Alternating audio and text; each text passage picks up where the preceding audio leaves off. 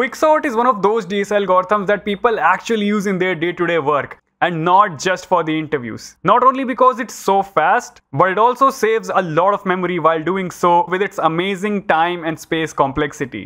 So let's go on and understand it visually and then we will discuss its implementation in JavaScript along with its most asked interview question.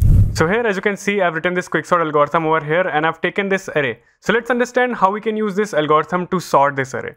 So in quicksort the first step is to take a pivot from this given array over here. So a lot of people take this pivot over here or probably in the somewhere in the middle or maybe at the very last. But I like to take the very first element as our pivot. So i'm gonna write it just like that. Okay so now what? Now what we are supposed to do? So now if you see in this algorithm over here we have taken two arrays a left and a right array we put the elements smaller than our pivot in our left array and the elements bigger than our pivot go into the right array over here so if we write our pivot over here just like that let's go through all of these elements one by one so 2 over here is obviously smaller than our pivot, so it's gonna go inside of our left array. So I'm gonna write it inside of our left array over here. And 9 is obviously bigger than our pivot, so it's gonna go inside of our right array. Just like that. Then 3, it's smaller, it's gonna go over here. 6, it's bigger, it's gonna go over here. 1, 8, and then there's 7. So we got these two arrays, left and right.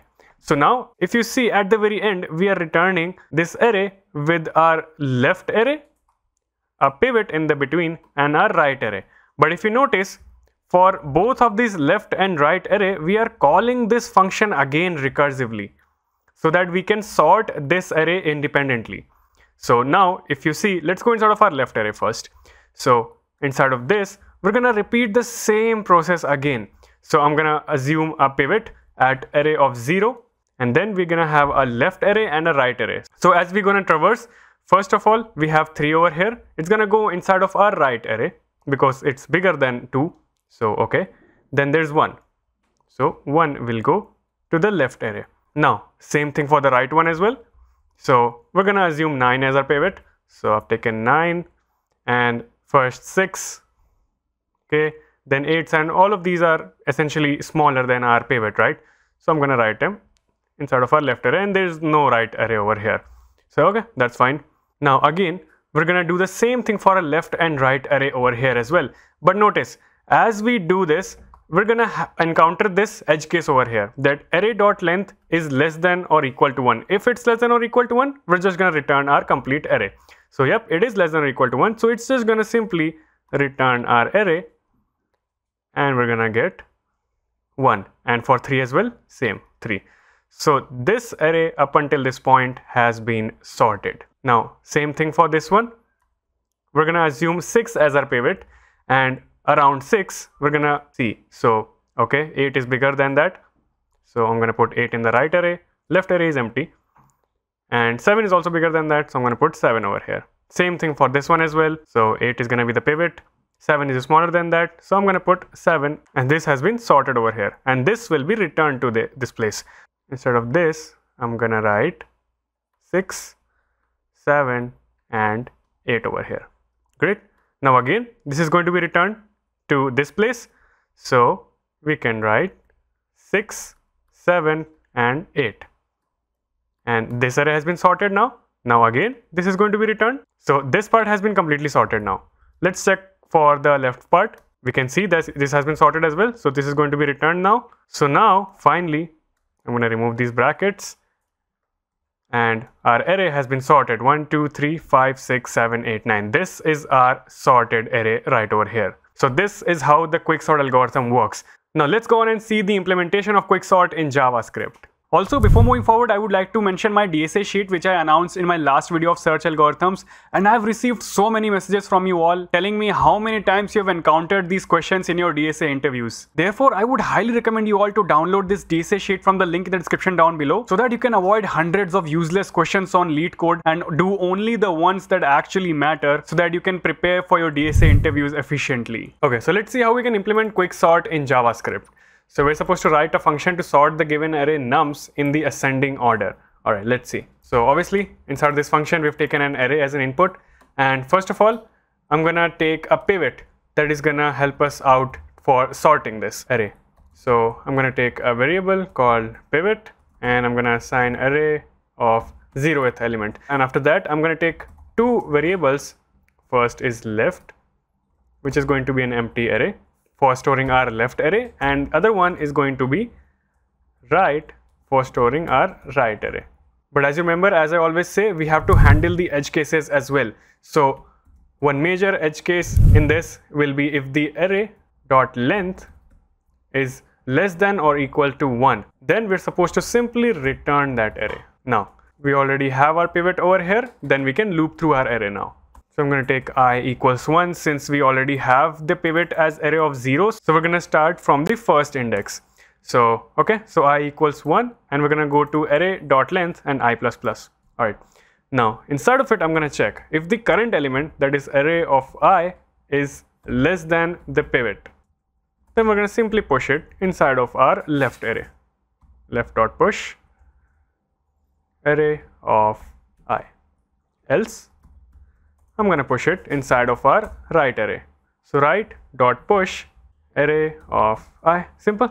Now after all of this has been done, I'm going to simply return our array with our left array. That is this array over here. So I'm going to call this function recursively. So quicksort of left. Now you might be thinking, why have I spread it over here? So if you think about it, Let's suppose a scenario where the array of length is less than 1. That is, it looks something like this. Let's say an array with 2 over here. So this will be returned here. If I didn't write this spread operator over here, it will be taken as an element with these array brackets as well. So to remove these array brackets, we need this spread operator. After this spread operator has done its thing, it's gonna look something like this too. And obviously the rest of the array after this, right? So that is why we're using the spread operator over here. Then we're going to write our pivot because obviously pivot is going to be in the middle since the smaller elements are on the left and the bigger element are on the right.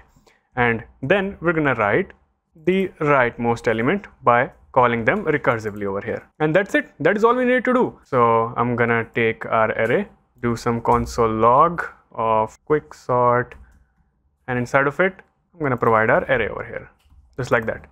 Let's try to run this. Node quicksort. And yep, you see our array has been successfully sorted. Awesome. Now let's understand what's the time and space complexity for this algorithm.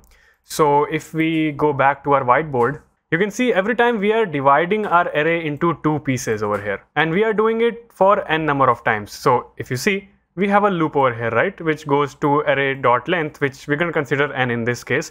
So we are doing this for n number of times and we are dividing this array into two separate parts. So that's why this is going to have a logarithmic time complexity. So if we write over here, time complexity, for our average case, this will be O of log n. But since we are doing this for n number of times, this is going to be n log n. But what's about the worst case? So in this part, if you noticed, this was uh, 2, 3, 1, right? But in this case, we had 2 already, which was smaller than 3. So this was not the worst case. The worst case would have been if the first element every time would be the largest element of this array. So in that case, we would have to do n number of iterations with these recursive calls as well, with this recursive call and this recursive call. So in that case, the worst case time complexity would be n square and our best case time complexity as well is n log n. But what about the space complexity? You're gonna think, okay, we're not creating a new array inside of it, right? So this shouldn't have any space complexity, it should be O of 1. But no, that's not the case. Since we are using recursion in this algorithm, so quicksort does use a small amount of auxiliary space for its recursive function calls. So the maximum depth of our call stack depends on the recursive calls made, number of recursive calls made. So that's why our average case space complexity space complexity will be O of log n. But what about the worst case? So in the worst case, this could be like the largest element will be on the first place every single time. So this will be O of n.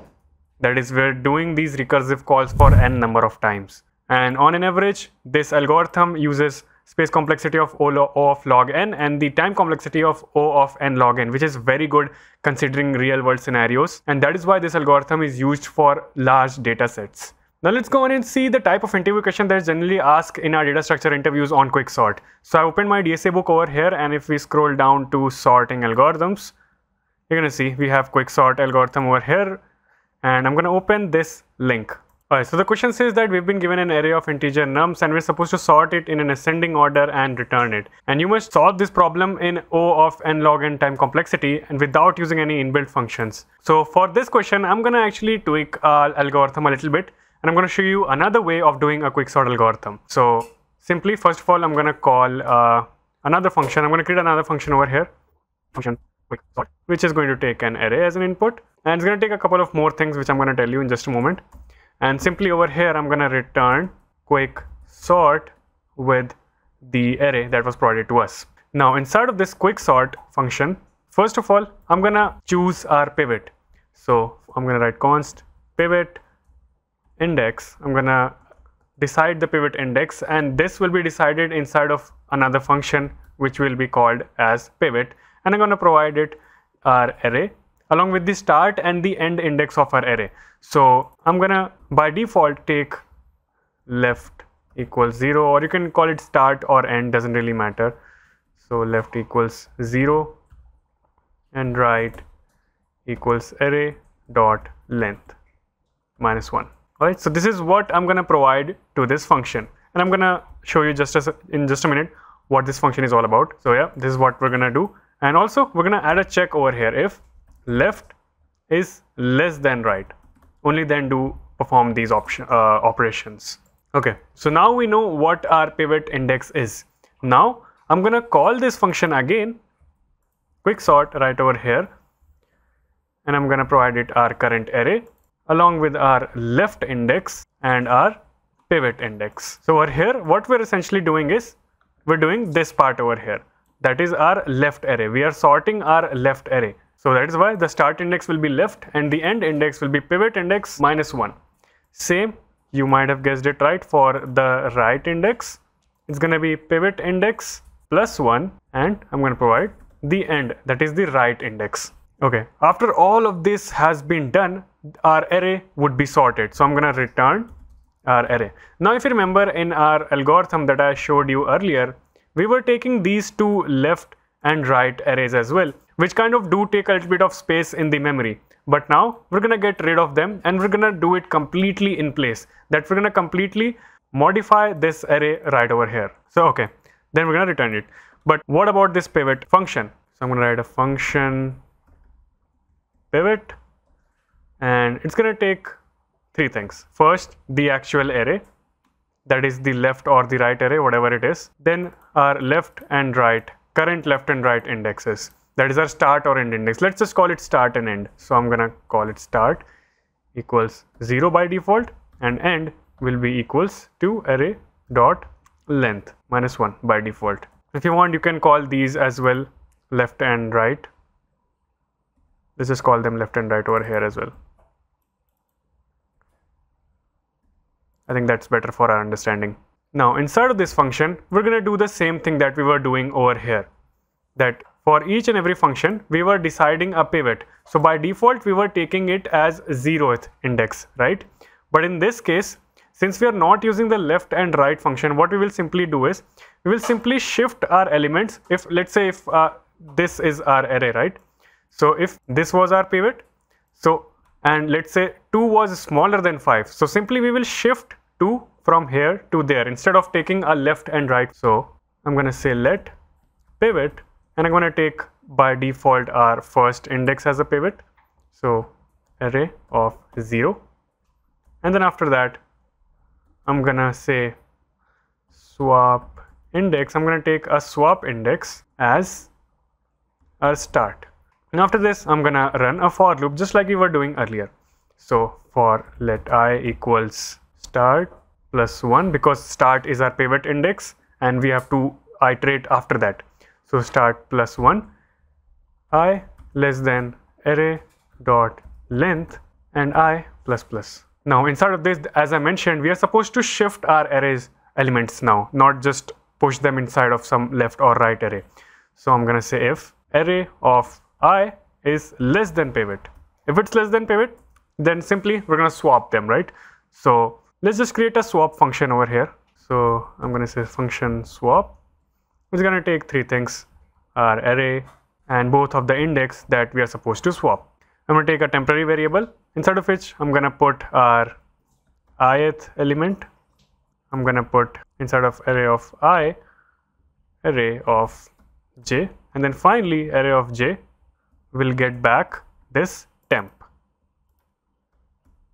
This is the standard swapping way, right? So now I'm going to take this swap function over here and I'm going to call it swap of array comma swap index. So swap index, if you remember, was the index of our pivot right now. So we're supposed to swap our pivot with this uh, smaller element, right? So swap index comma i. I'm going to do swap idx plus plus. That means pivot has moved one step forward now. And after this whole thing has been done, I can simply call that function again inside this array start comma swap idx. So if we go through this uh, part one by one, so let's see, we're looping through this array and the swap index currently is on over here. So our loop will start from start plus 1 that is this index over here. So I'm going to compare is pivot more than array of i? Is 5 more than 6? No it's not. So we're going to move on. Again we're going to check is pivot more than array of i? Is 5 more than 2? Yep it is. So now we're going to say swap index plus plus. So this will be now moved to over here and our swap our swap index and the current element. So this and this will be swapped. So 2 and 6 have now been swapped. Now moving forward for the third element over here. Is this more than pivot? No, it's not. So again, this will be swapped. So 3 will be swapped with 6, just like that. And now our swapped index was moved plus plus before, before the swapping it was moved. So now it is over here. Now for the last element, is pivot more than array of i? No, it's not more than array of i, so we're not going to do anything. So now at the very end, we're swapping the start with the swap index. So this was our start and we are swapping it with our swap index, which is right over here. So did you notice something?